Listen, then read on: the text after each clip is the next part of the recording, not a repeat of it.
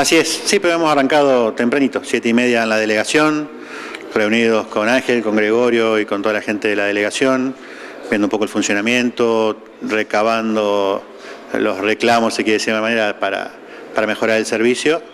Eh, luego tuvimos una reunión con delegados de SADOP, del Sindicato de los Docentes Privados, fundamentalmente por una situación que ocurrió unos días atrás con un docente de música que fue agredido dentro de su lugar de trabajo por un padre, para brindarle nuestro apoyo y nuestra solidaridad. Eh, bueno, ahora sí, vamos a ser recibidos generosamente por el Intendente Martín Piaggio. Luego tendremos una reunión con la CGT local para interiorizarnos en las diferentes problemáticas de los distintos rubros y finalizaremos la jornada al mediodía con una reunión con los empresarios del parque industrial, también para saber la situación de cada uno de estos ante una coyuntura eh, macroeconómica nacional que no es fácil. Y luego partiremos rumbo a Constitución Uruguay también con agenda propia. Eh, en Gualeguaychú usted habla de la coyuntura, ha habido alrededor de eh, 22 despidos, 22 retiros voluntarios, despidos, otra serie de despidos. E- Eso es una empresa textil, después despidos en una empresa en Unilever Argentina. Ha habido despidos masivos en algunas fábricas y otros no han sido tan masivos y son como un goteo, pero todos los días se van perdiendo fuentes de trabajo. Desde la dirección ustedes pueden implementar alguna política como para que no sea tan fácil decir, bueno, en vez de ganar menos despido un empleado. A ver, yo creo eh, que ningún empleador se levanta un día con ánimo de, de despedir a alguien, ¿no? De, achicarse.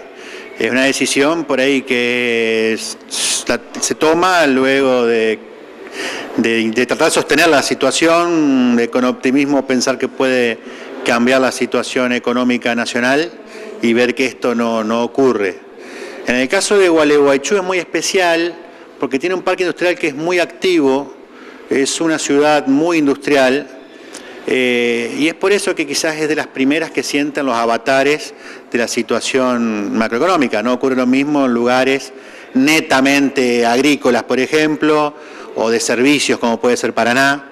Entonces, aquí en Gualeguaychú se ha sentido un poco más fuerte que, en otros lugares de la provincia, por, vuelvo a repetir, por su estructura económica, ¿sí? Porque es importante, porque se dedica a la producción, a la industria, lo cual es muy bueno, pero que la situación esta, que invita más a importar que a producir, eh, ha, hecho mella en las fuentes laborales, como bien has señalado vos, con algunas en especial, como fundamentalmente la textil Totaltec. Bueno, Lo de Rontalde es un caso en particular, porque los, hay trabajadores que están denunciando que se sienten despedidos porque intentaban participar de una interna dentro del gremio. Hay trabajadores que dicen hace 14 días que nos despidieron, no hemos cobrado la indemnización, nos mandan a un estudio de abogado y ahí es como que habría algún tipo de apriete. Bueno, en ese sentido, Rotaltec había comenzado un proceso eh, preventivo de crisis, el cual en el día de ayer ha desistido. Es también una buena noticia, si se puede decir de alguna manera, ¿no? para los trabajadores. ¿En qué sentido? En el sentido de que en el caso de que se produzca algún despido, la indemnización es completa, la del 245. En el caso que se hubiese acogido al, al- al procedimiento preventivo de crisis, hubiese sido del 50%, ¿no? del 247. Estoy dando los artículos del, de la- del contrato de trabajo. Eh, entonces, en ese sentido, si quieren, es positivo en, en que van a cobrar indemnización completa en el caso que sean despedidos. Trataremos de que esta situación se detenga. Eh, sabemos que hay 11 trabajadores que han sido despedidos hace dos semanas, como has manifestado bien vos. Tengo entendido, lo voy a corroborar en el día de hoy, tanto cuando me reúna con la CGT como con la propia empresa, que se realizó el depósito, creo que en el día de hoy o en el día de ayer. Quiero corroborarlo, porque lo tengo de oído hasta ahora y no, y no, y no fehacientemente. Pero, a ver, es una relación privada que se da entre empleador y trabajador. Eh, nosotros no podemos impedir un despido. Lo que sí tenemos que garantizar es que en el, primero tratar de arbitrar los medios para que se pueda sostener la situación un poco más.